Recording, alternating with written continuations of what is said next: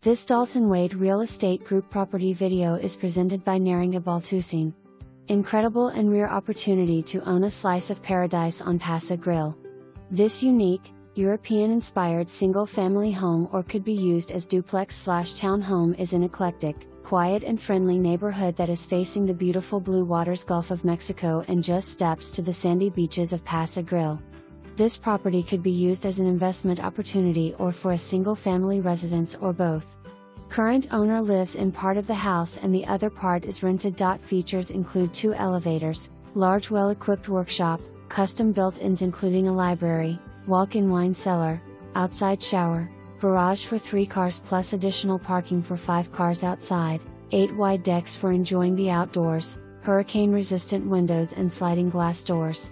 Designed to take advantage of both sunrise and sunset views and watch dolphins while enjoying your morning coffee. The house truly offers the finest design for tropical living. This property is in walking distance to Pass-a-Grille's unique shopping stores, restaurants, local bars, fishing pier, historical hotel like Don CeSar which offers shopping, dining and beach entertainments. For more information,